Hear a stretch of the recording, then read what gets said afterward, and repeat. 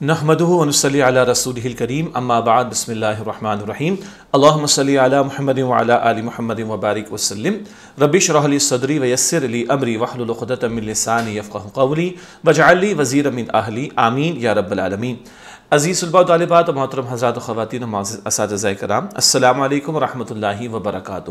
اللہ تعالیٰ سے دعا ہے کہ آپ جہاں کہیں بھی ہو خیر و عافیت کے ساتھ ہوں۔ مطالعہ قرآن حکیم کا تیسرا حصہ آن لائن کلاسز کا سلسلہ جاری اور لیسن پلان کے مطابق آج ہماری کلاس نمبر چالیس ہے۔ انشاءاللہ آج ہم صورت الواقعہ کا مطالعہ شروع کریں گے اور اس کی پہلی چھبیس آیات کا مطالعہ کریں گے انشاءاللہ۔ اور کتاب کے صفحات ہیں صفحہ نمبر ایک سو سینتیس اور ایک سو اڑتیس۔ تو لیسن پلان کے مطابق کلاس نمبر فورٹی سروت الواقعہ کی آیات ون سے ٹوئنٹی سکس کا مطالعہ کر دیں اور انشاءاللہ بک تھری کے پیجز ہوں گے ون تھرٹی سیون اور ون تھرٹی ایٹ بات کو آگے بڑھاتے ہیں اور مقاصد مطالعہ ہمیشہ کی طرح پہلے آپ کے سامنے رکھتے ہیں۔ چند باتیں جو آج ہم سمجھیں گے، ان میں سے پہلا نقطہ، قیامت کے وقت کے مناظر کا ذکر کیسے کیا گیا ہے؟ بہت ساری آیات ہیں قرآن میں جن میں، بلکہ بہت ساری صورتیں جن میں کچھ آیات میں قیامت کے مناظر کا ذکر ہے، وہ یہاں صورت الواقعہ میں بھی ہمارے سامنے آئے گا، بیان۔ دوسرا نقطہ ہے، سبقت کرنے والے کون ہیں اور ان کا کیا حسین انجام ہوگا؟ یہ مقرب بندے جو جنت میں اعلیٰ درجات پائیں گے، سبقت لے جانے والے اور ان کا حسین انجام اس کو بھی سمجھیں گے انشاءاللہ۔ نمبر تین، جنت کی شراب کی کیا صفات بیان کی گئی ہیں؟ پاکیزہ ہوگی، یہ تو سب کو پتہ ہے، صفات کا بیان بھی آئے گا۔ اور نمبر چار، دنیا کی شراب میں کیا نقصانات ہیں؟ جو کہ حرام ہے دنیا میں، اس کے نقصانات کیا ہے اس کو بھی ہم جانیں گے انشاءاللہ۔ یہ صورت الواقعہ کے تعلق سے آج جو ہم مطالعہ کر رہے ہیں، اس کی کچھ تمہیدی گفتگو تھی یعنی مقاصد مطالعہ آج کی کلاس کے اعتبار سے۔ اب نئی صورت کا آغاز کریں تو ربط صورت کی طرف چلتے۔ صورت الرحمن کا مطالعہ مکمل کیا تھا، آپ کو یقیناً یاد ہے۔ اور اب صورت الواقعہ کا آغاز ان دونوں صورتوں کا باہمی ربط سمجھتے ہیں۔ گزشتہ صورت صورت الرحمن کے آغاز میں قرآن حکیم کا ذکر تھا۔ صورت الواقعہ کے آخر میں قرآن حکیم اور اس کے آداب و احترام کا تذکرہ ہے۔ یکسانیت ہے نا؟ وہاں شروع میں قرآن کا ذکر تھا، یہاں آخر میں قرآن کا ذکر ہے سور واقعہ میں۔ صورت الرحمن میں اول ناب فرمانو، پھر عام اہل جنت اور اس کے بعد خاص اہل جنت کا ذکر تھا۔ صورت الواقعہ میں پہلے مقربین، خاص اہل جنت، پھر دائیں ہاتھ والوں، عام اہل جنت اور پھر بائیں ہاتھ والوں اہل جہنم کا بیان ہے۔ تو جس طرح صورت الرحمن میں ہمارے سامنے اہل جہنم کا ذکر بھی تھا اور اہل جنت کا ذکر بھی تھا، وہی انداز صورت الواقعہ میں یہاں پہ مقربین کا اور اہل جنت کا ذکر بھی آئے گا اور اہل جہنم کا بیان بھی۔ تو یہ دونوں صورتوں میں مضامین بالکل یکساں ہمیں دکھائی دے رہے ہیں۔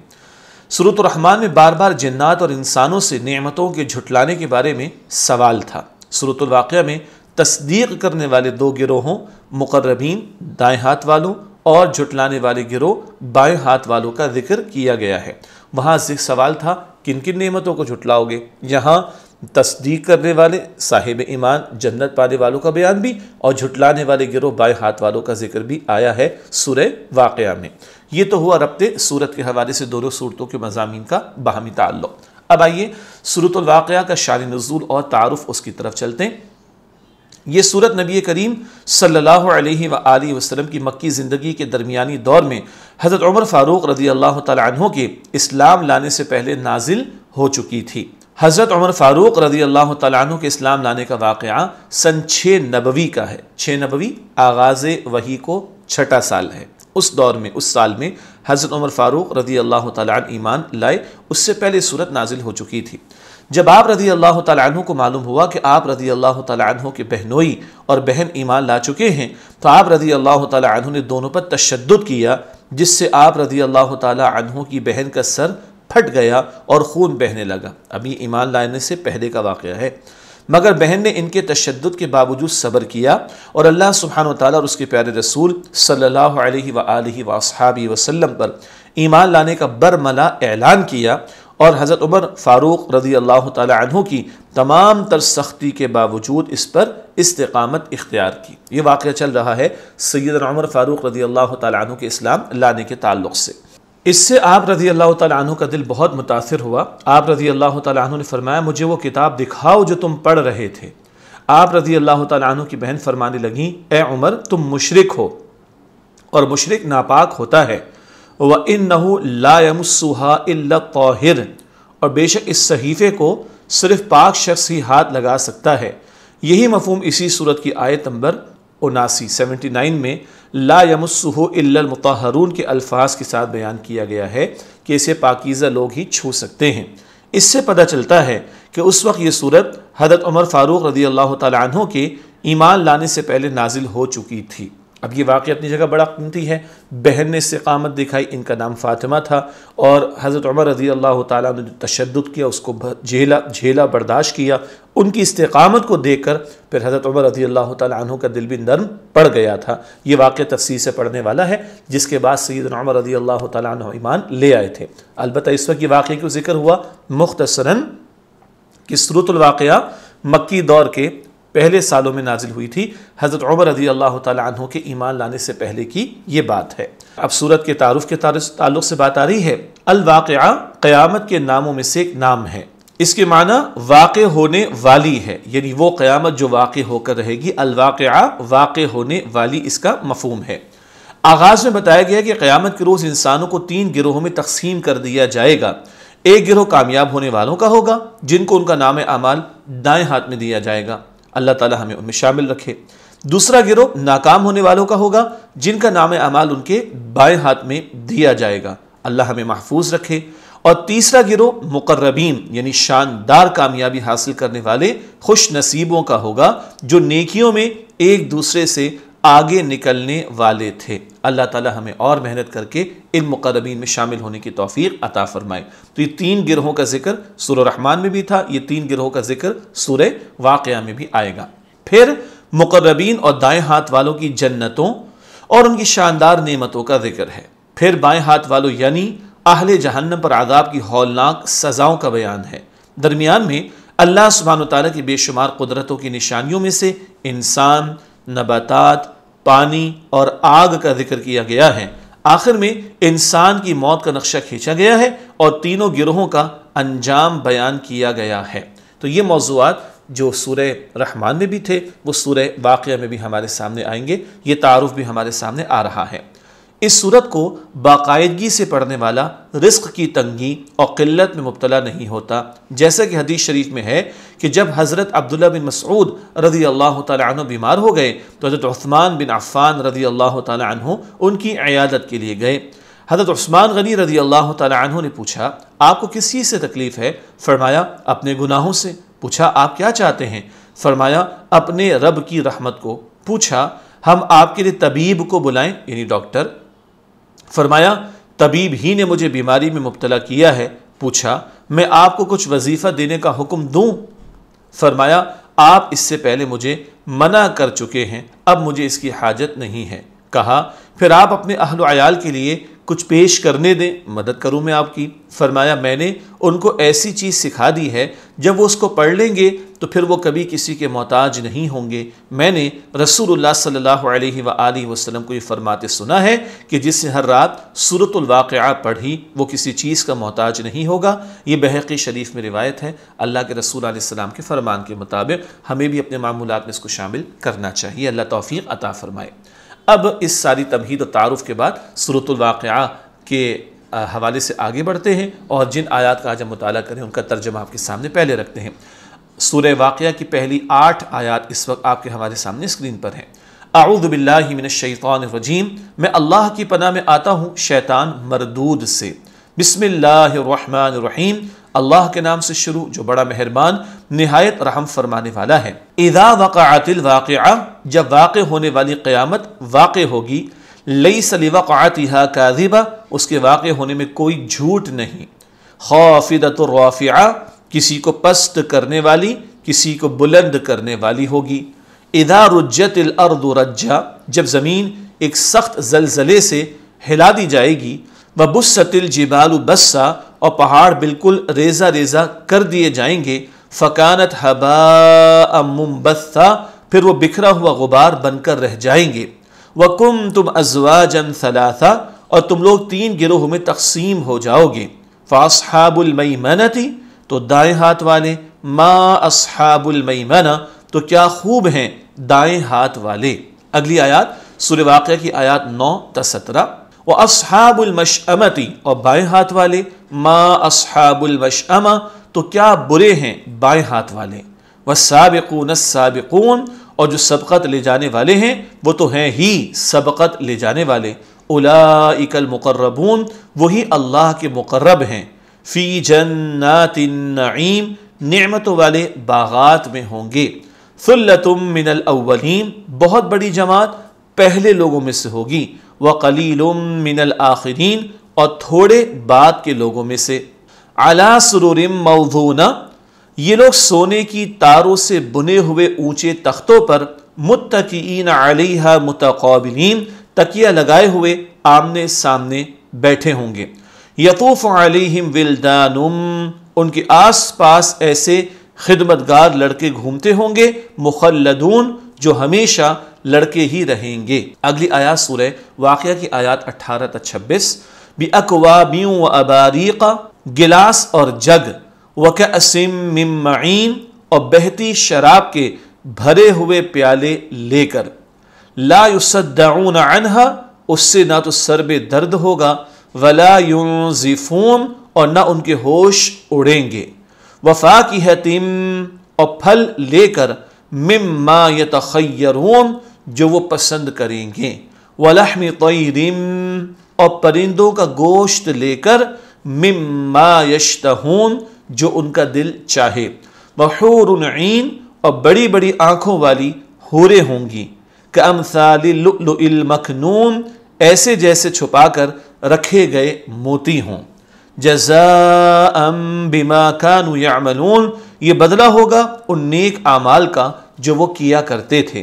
لا يسمعون فیہا، وہ اس میں نہیں سنیں گے۔ لغوا ولا تأثیما، کوئی بیکار بات اور نہ کوئی گناہ کی بات۔ اللہ قیلا، مگر ایک بات ہوگی سلامن سلامہ سلامتی ہی سلامتی کی۔ یہ الحمدللہ سورہ واقعہ کی چھبیس آیات کا ترجمہ مکمل ہوا اور جنت کی نعمتوں کا ذکر بھی آ رہا ہے۔ ترجمے سے ہمیں پتہ چلا۔ اب چلتے ہیں آیات کی تشریح کی طرف۔ سب سے پہلے سورہ واقعہ کی پہلی آیت اذا وقعت الواقعہ، جب واقع ہونے والی قیامت واقع ہوگی۔ صورت کے آغاز میں مذکور ایک حقیقت کا بیان، قیامت کے آنے کا بیان کیا گیا ہے اور اس کے لیے لفظ الواقعہ استعمال کیا گیا ہے، جس کی معنی ہے واقع ہونے والی۔ یہ قیامت کا ایک نام الواقعہ، جیسے القارعہ آخری پارے میں ہے۔ علمی بات قیامت کے واقع ہونے کا ذکر متعدد جگہوں پر کیا گیا ہے۔ مثلا سورت المعارج کی آیت نمبر ایک میں آتا ہے کہ ایک سوال کرنے والے نے اس عذاب کا سوال کیا جو واقع ہونے والا ہے۔ اسی طرح سورت الحاقہ آیت نمبر پندرہ میں بھی یہ حقیقت بیان کی گئی ہے، اس دن واقع ہونے والی واقع ہو کر رہے گی۔ سور معارج بھی اور سور حاق کا یہ انشاءاللہ آئندہ ہم پڑھیں گے۔ یہ انتیس سے پارے کی مکی صورتیں ہیں جس کا ذکر انشاءاللہ اس تیسرے سے میں بعد میں کریں گے۔ آیت نمبر دو۔ لئی سلیمقعاتیہا کاذبہ اس کے واقع ہونے میں کوئی جھوٹ نہیں۔ قیامت کے واقع ہونے کی حقیقت کا بیان۔ فرمایا گیا کہ کوئی قیامت کے واقع ہونے کو جھٹلانے والا نہیں ہوگا۔ اس سے مراد یہ ہے کہ وہ ایک ایسی اٹل حقیقت ہے کہ جس سے انکار اور فرار ممکن نہیں، اور نہ ہی اس کے واقع ہونے کو کوئی روک سکتا ہے۔ اس بات کی وضاحت صورت الشورہ آیت نمبر سینتالیس میں آتی ہے کہ اپنے رب کا حکم مان لو اس سے پہلے کہ وہ دن آ جائے جو اللہ کی طرف سے ٹلنے والا نہیں، اس دن تمہارے لیے کوئی جائے پناہ نہیں ہوگی اور نہ تم انکار کر سکو گے۔ یہ ہے قیامت کے واقع ہونے کا ذکر جو کئی انداز سے مختلف مقامات پر قرآن حکیم میں آیا ہے۔ کوئی اس کو جھٹلا نہیں سکتا، یا یوں کہیں کوئی اس کو ٹال نہیں سکتا، کوئی اس سے فرار اختیار نہیں کر سکتا۔ اس بات کا اشارہ ہو گیا۔ آیت نمبر تین خافدت الرافعہ کسی کو پست کرنے والی، کسی کو بلند کرنے والی ہوگی۔ قیامت کی مزید صفات کا بیان ہے۔ قیامت خافدہ کسی کو نیچا کرنے والی، اور رافعہ، کسی کو بلند کرنے والی ہوگی۔ قیامت کی صفت خافدہ کا اطلاق ان لوگوں پر ہوگا جو کفار مشکین اور اللہ سبحانہ تعالیٰ کے نافرمان ہیں۔ ان کے لیے قیامت ذلت و رسوائی بن کر آئے گی۔ نیس قیامت کی صفت رافعہ کا اطلاق انبیاء کرام علیہ السلام، مؤمنین اور اللہ سبحانہ تعالیٰ کے فرم بردار بندوں پر ہوگا، جن کے لیے قیامت عزت، شرف اور بلندی کا ذریعہ بن جائے گی۔ کچھ کامیاب ہوں گے، کچھ ناکام ہوں گے، کوئی پستی میں ہوگا، کوئی عروج پائے گا۔ قیامت کے دن کی یہ صفت بیان ہوئی ہے۔ پس کرنے والی اور بلند کرنے والی سے مراد، اس سے مراد ذلت اور عزت ہے۔ یعنی یہ قیامت اللہ سبحانہ و تعالیٰ کی اطاعت گزار بندوں کو بلند اور نافرمانوں کو پست کرے گی۔ چاہے دنیا میں معاملہ اس کے برعکس ہو۔ دنیا میں بڑے بڑے نافرمان وہ حکمراں بھی بن جاتے ہیں۔ فرعون جیسے شخص کو دیکھ لیجیے، یہ دنیا امتحان کا مقام ہے۔ آخرت بدلے کا مقام ہے۔ تو وہاں کامیاب کون ہوگا؟ ایمان لانے والے، نیک عمال کرنے والے ان کو قیامت بلند کرے گی۔ ظالم مشرق کافر، نافرمان، سرکش، بے گناہ میں مبتلا لوگ ان کو قیامت پست کر دے گی۔ آیت نمبر چار۔ اذا رجت الارض رجا۔ جب زمین ایک سخت زلزلے سے ہلا دی جائے گی۔ قیامت کے واقع ہونے کی کیفیت کا بیان۔ زمین ایک زلزلے کے ساتھ ہلا دی جائے گی۔ اس بات کا ذکر صورت الزلزال میں آتا ہے، آیت نمبر ایک میں، جب زمین اپنے زلزلے سے پوری شدت سے ہلا دی جائے گی، اذا زلزلت الارض زلزالہا۔ آج زلزلہ آتا کو ایک تو زمین کیسی ہلتی ہے، کس قدر تباہی۔ پوری زمین پر جب زلزلہ آئے گا تو اس وقت عالم کیا ہوگا؟ اللہ اللہ کیوں سے ہم سب کی حفاظت فرمائے۔ علمی بات۔ زمین کی دیگر کیفیات کا ذکر بھی قرآن حکیم میں آتا ہے۔ مثلا یہ کہ ہرگز نہیں جب زمین کوٹ کوٹ کر برابر کر دی جائے گی۔ بالکل چٹھیل میدان۔ سور فجر آیت نمبر اکیس میں ذکر آتا ہے۔ اور ہم پڑھ چکے ہیں حصہ دو میں، پارٹ ٹو میں۔ اور زمین اپنے سارے بوجھ، خزانے اور جو کچھ اس کے اندر ہے، باہر نکال دے گی۔ زمین اپنے خزانے اور جو کچھ اس کے اندر ہے، اسے اگل دے گی۔ یہ سور زلزال کی آیت نمبر دو میں ہم پڑھ چکے ہیں۔ الحمدللہ، حصہ دو ام میں۔ اور آپ زمین کو صاف میدان دیکھیں گے، یہ سورہ کہف کی آیت نمبر سینتالیس میں ذکر آتا ہے۔ یہ مختلف کیفیات زمین کی بیان کی گئی ہیں کہ قیامت دن کا معاملہ زمین کے ساتھ ہوگا۔ کئی آیات قرآن حکیم میں ہمارے سامنے آتی ہیں۔ آیت نمبر پانچ، وَبُسَّتِ الْجِبَالُ بَسَّا اور پہاڑ بالکل ریزہ ریزہ کر دیے جائیں گے۔ قیامت کے دن پہاڑوں کی کیفیت، پہاڑ بالکل ریزہ ریزہ کر دیے جائیں گے۔ یہ باتیں کئی مقامات پر قرآن حکیم میں آتی سورہ نبا میں بھی ہم پڑھ چکے ہیں اور دیگر مقامات پر بھی ذکر آتا ہے۔ آیت نمبر چھ، فکانت حبا ممبثا پھر وہ بکھرا ہوا غبار بن کر رہ جائیں گے۔ یہ آیت نمبر چھ ہے۔ قیامت کے دن پہاڑوں کی مزید کیفیت، قیامت کے واقع ہونے پر پہاڑ بکھرے ہوئے غبار کی مانند اڑ رہے ہوں گے۔ اس بات کا ذکر قرآن حکیم کے دیگر مقامات کی طرح صورت القارعہ آیت نمبر پانچ میں بھی آتا ہے اور پہاڑ دھنکی ہوئی رنگین اون کی طرح ہو جائیں گے۔ کلعہن المنفوش، یہ الفاظ ہمیں یاد بھی ہوں گے۔ تو یہ ایک پہاڑوں کی کیفیات کا بیان۔ عملی پہلو، ہر چیز میں تاثیر اللہ سبحانہ و تعالیٰ کی طرف سے ہے۔ اللہ سبحانہ و تعالیٰ جب چاہے اس کی تاثیر اور کیفیت کو بدل دے۔ ہمیں اس حقیقت کو سامنے رکھتے ہوئے یہ فکر کرنی چاہیے کہ جب اللہ سبحانہ و تعالیٰ پہاڑ جیسی سخت اور مضبوط چیز کو غبار میں تبدیل کر کے ہوا میں اڑا سکتا ہے تو ہم انسانوں کو دوبارہ پیدا کرنا اور قیامت کا قائم فرمانا اس کے لیے کون سا مشکل کام ہوگا؟ یہ سب اللہ کے قدرتوں کا بیان کیوں؟ تاکہ یقین ہمیں رہے کہ وہ اللہ جو یہ سب کچھ کرنے پر قادر، وہ ہمیں مرنے کے بعد دوبارہ زندگی دینے پر بھی قادر ہے۔ آیت نمبر سات۔ وَكُمْ تُمْ أَزْوَاجًا ثَلَاثًا۔ اور تم لوگ تین گروہوں میں تقسیم ہو جاؤ گے۔ یہ قیامت کے دن کا بیان ہو رہا ہے اور تین گروہوں کا ذکر آیا چاہتا ہے۔ قیامت کے دن انسانوں کی تقسیم کا بیان۔ انسان تین گروہوں میں تقسیم ہو جائیں گے۔ نمبر ایک، دائیں ہاتھ والے۔ نمبر دو، بائیں ہاتھ والے، نمبر تین، سبقت لے جانے والے۔ آگے ان تین گروہ کی تفصیلات آئیں گی انشاءاللہ۔ یہ تین گروہ، دائیں ہاتھ والے عام اہل جنت، بائیں ہاتھ والے یہ جہنم والے، اور سبقت لے جانے والے مقربین ہیں، بلند درجات پانے والے۔ آیت نمبر آٹھ، فَأَصْحَابُ الْمَيْمَنَةِ مَا أَصْحَابُ الْمَيْمَنَةِ۔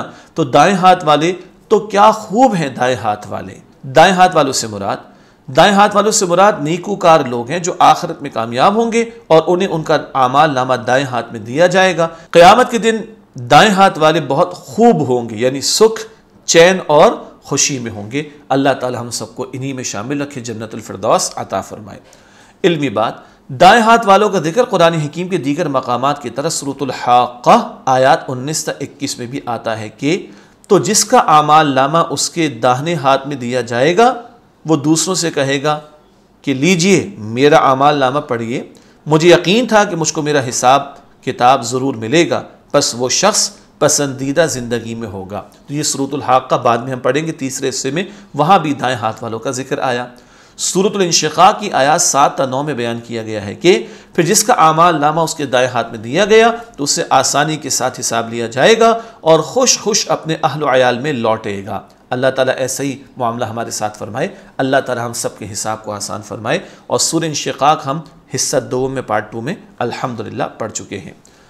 آیت نمبر نو وہ اسحاب المشمتی ما اسحاب المشمہ اور بائیں ہاتھ والے، تو کیا برے ہیں بائیں ہاتھ والے؟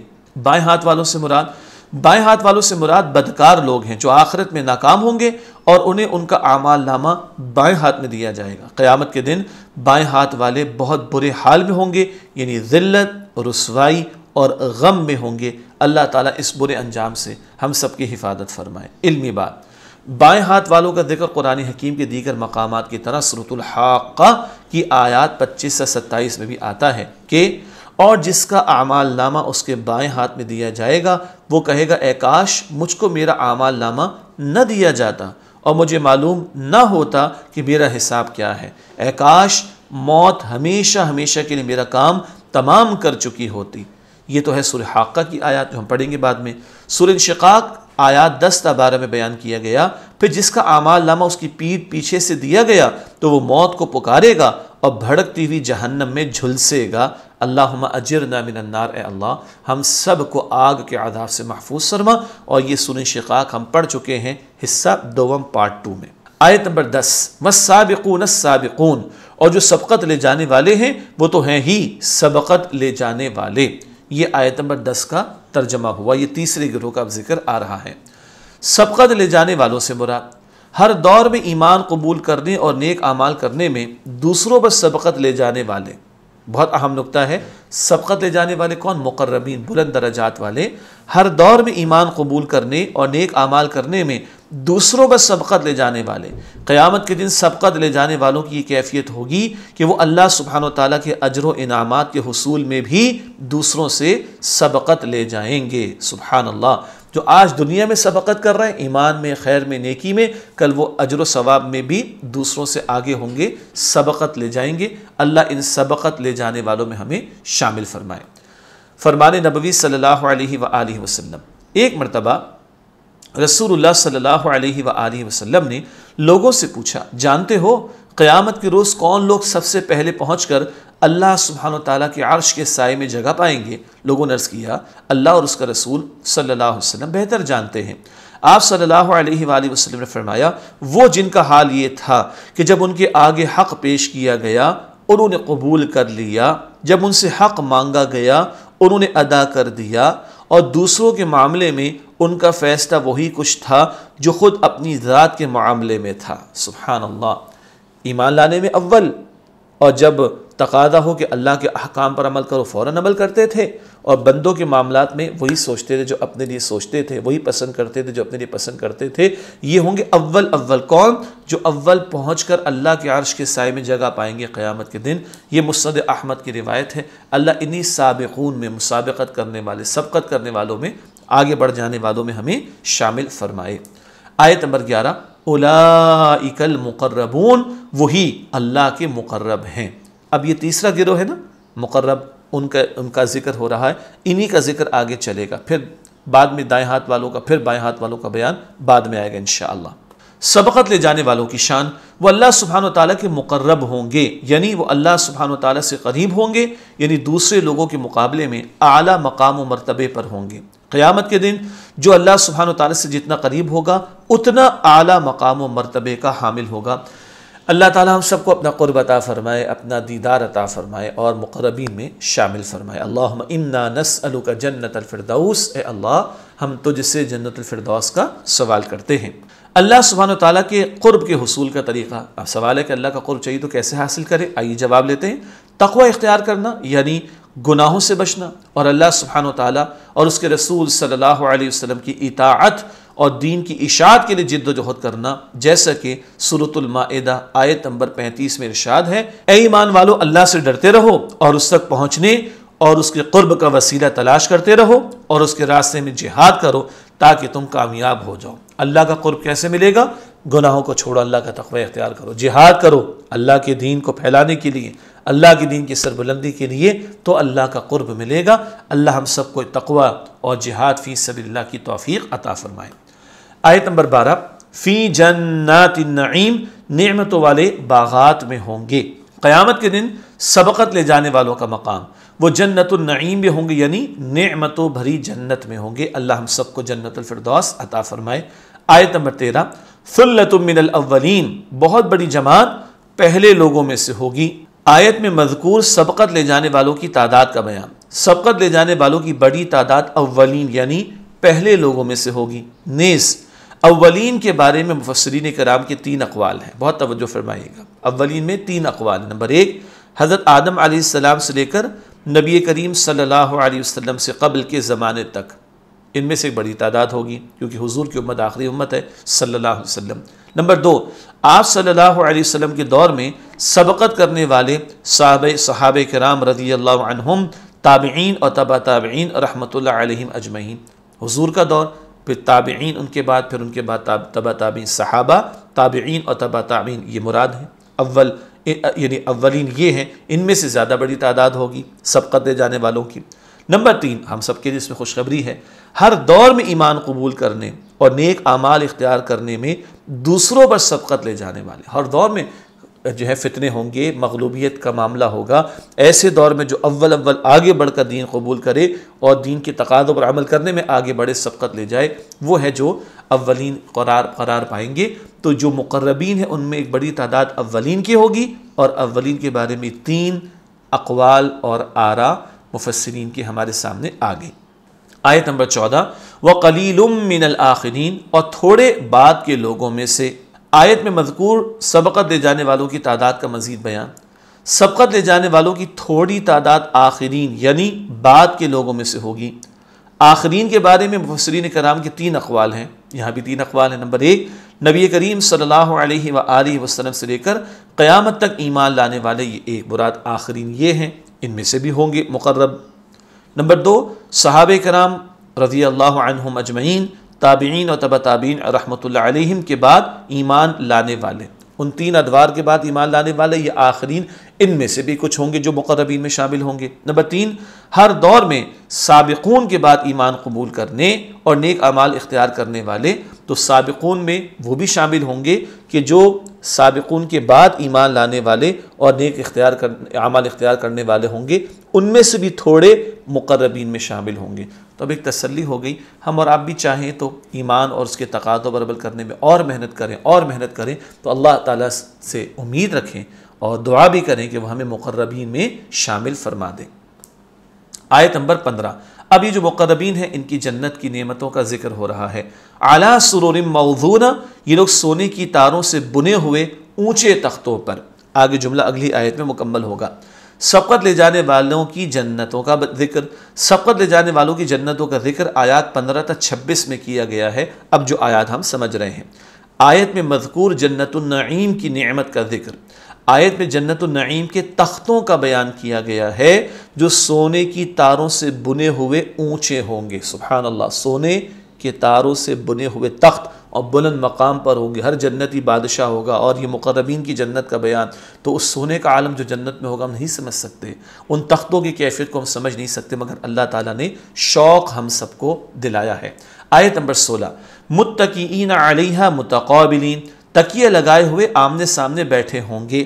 جنت و نعیم سبقت لے جانے والوں کی شان کا بیان۔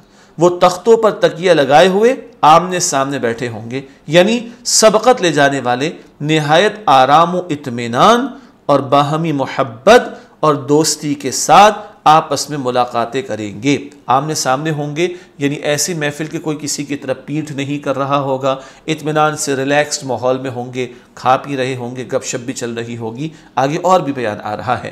آیت نمبر سترہ۔ یتوف علیہم ولدان مخلدون۔ ان کے آس پاس ایسے خدمتگار لڑکے گھومتے ہوں گے جو ہمیشہ لڑکے ہی رہیں گے۔ یہ آیت نمبر سترہ کا ترجمہ۔ سبقت کرنے والوں کی خدمتگاروں کی کیفیت کا بیان۔ وہ اہل جنت کی خدمت کے لیے ہر وقت حاضر رہیں گے اور ہمیشہ رہنے والے لڑکے ہوں گے۔ یعنی جنت میں خدمتگار لڑکے بوڑھے نہ ہوں گے، نہ ان کے خد و خال اور قد و قامت میں کوئی تغیر ہوگا، بلکہ ایک ہی عمر اور ایک ہی حالت پر رہیں گے جیسے نو عمر لڑکے ہوتے ہیں۔ تو خدمتگار لڑکے ہوں گے، ہمیشہ لڑکے رہیں گے، خوبصورت ہوں گے، وہ خوبصورت کتنے ہوں گے؟ اگلا جملہ سنیے۔ صورت الطور آیت نمبر چوبیس میں ہے کہ وہ ایسے خوبصورت ہوں گے جیسے چھپا کر رکھے ہوئے موتی ہوں۔ سورت طور کا مطالعہ ہم کر چکے ہیں، الحمدللہ۔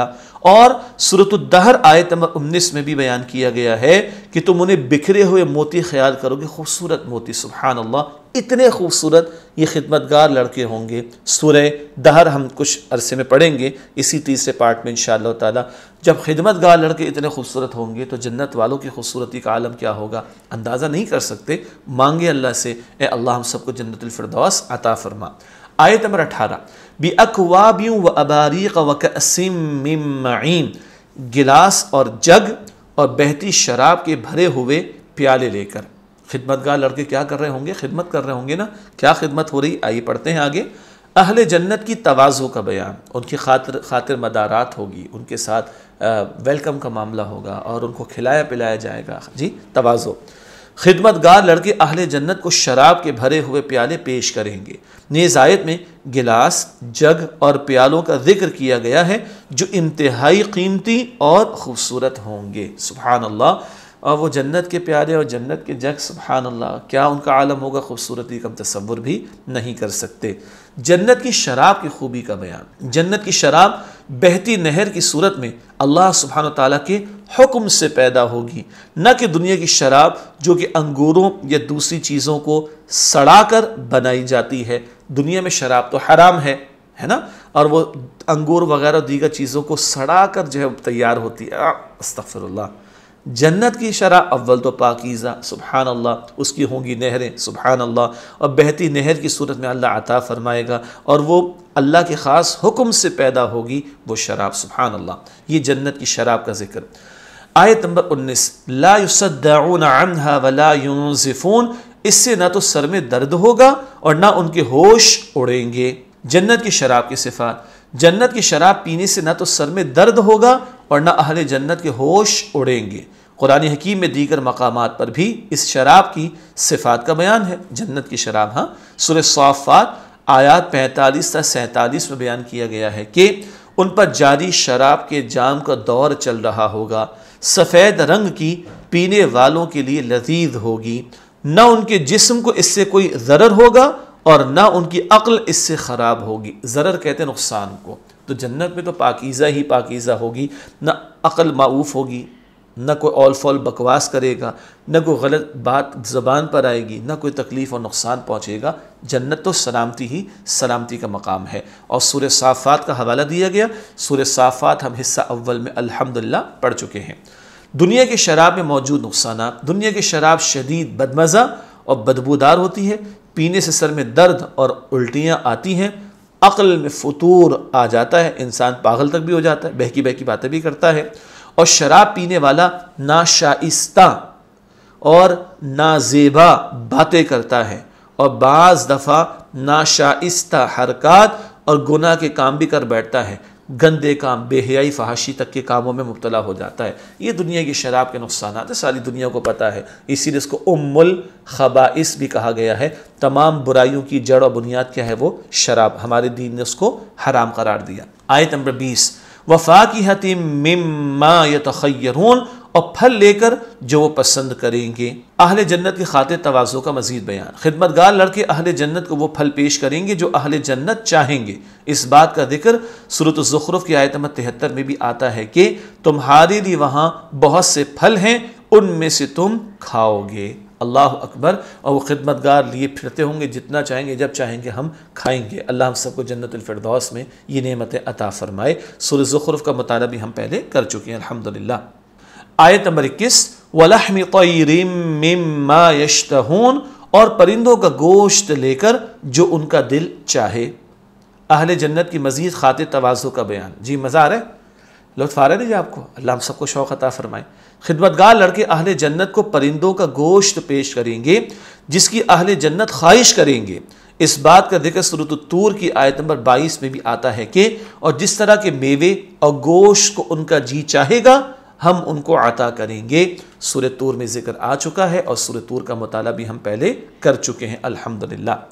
علمی بات، پرندوں کا گوشت لذت، غذائیت اور قوت تینوں اعتبار سے چوپایوں کے گوشت سے اعلیٰ اور عمدہ ہوتا ہے۔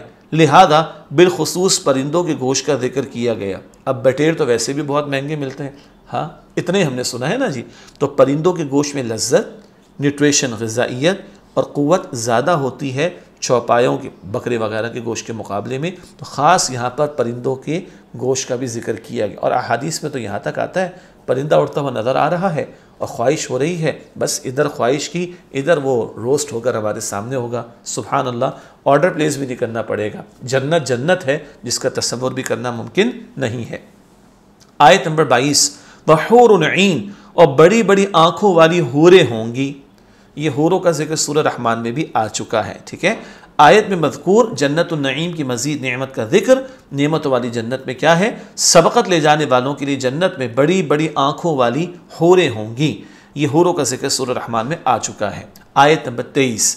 کم سال المکنون، ایسی جیسے چھپا کر رکھے گئے موتی ہوں۔ حوروں کی خوبصورتی۔ حوروں کی خوبصورتی کو مثال دے کر وعدے کیا گیا ہے کہ وہ موتی کی طرح خوبصورت ہوں گی، نیس۔ قیمتی موتیوں کی طرح چھپا کر رکھی گئی ہوں گی۔ سبحان اللہ۔ دولت کو، پیسے، روپے کو ہم چھپا کے رکھتے ہیں نا، قیمتی ہے۔ جی موتی اور زیادہ قیمتی تو چھپا کے رکھا جاتا ہے۔ یہ ہورے بھی چھپا کر رکھی گئی ہیں، قیمتی ہیں۔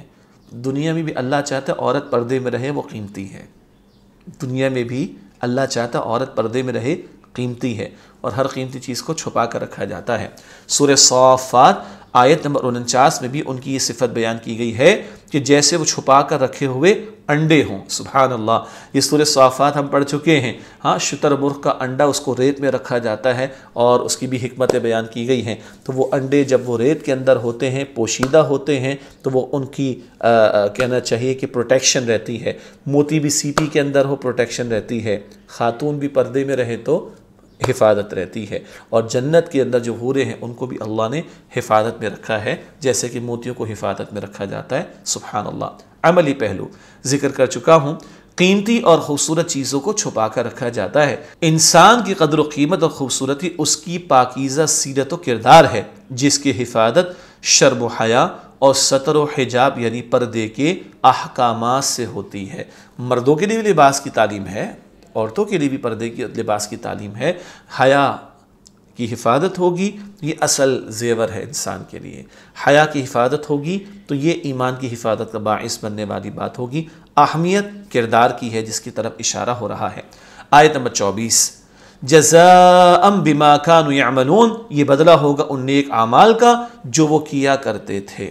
جنت النعیم اور اس کی نعمتیں سبقت لے جانے والوں کو ملنے کی وجہ کیوں آتا ہوں گی؟ اللہ فرما رہا ہے، یہ بدلہ ہوگا ان نیک اعمال کا جو وہ کیا کرتے تھے۔ یہ اللہ کی شان کریمی وہ فرمائے گا، تمہارے اعمال کی وجہ سے میں نے تمہیں جنت عطا فرمائی۔ آیت نمبر پچیس، لا يسمعون فیہا لغوا ولا تأثیما۔ وہ اس میں نہیں سنیں گے کوئی بیکار بات اور نہ کوئی گناہ کی بات۔ یہ آیت نمبر پچیس کا ترجمہ۔ سبقت لے جانے والوں کی جنت و نعیم کے ماحول کا بیان۔ وہاں وہ اہل جنت نہ کوئی بیکار بات اور نہ ہی کوئی گناہ کی بات سنیں گے۔ بیکار بات سے مراد ہے ایسی بات جس میں نہ ثواب ہو نہ گناہ، نہ کوئی فائدہ، نہ ہی بظاہر کوئی نقصان۔ یعنی جنت میں وہ کوئی ایسی بات نہ سنیں گے جو اہل جنت کی طبیعت پر گرا گزرے۔ اور گناہ کی بات سے مراد ہے ایسی بات جو نافرمانی پر مبنی ہو۔ مثلا بےحودگی، جھوٹ، غیبت، چغلی، بہتان گالی، مکر و فریب یعنی دھوکہ، ہیرا پھیری، بے وقوع بنانے کی بات اور طنز وغیرہ جیسی باتیں، ایسی کوئی نگیٹیوٹی نہیں ہوگی، ایسی کوئی غلط باتیں جنت میں نہیں ہوں گی۔ اللہ اکبر، اتنا پاکیزہ ماحول وہاں کا ہوگا۔ آیت نمبر چھبیس اللہ قیلن سلامن سلامہ مگر ایک بات ہوگی، سلامتی ہی سلامتی کی۔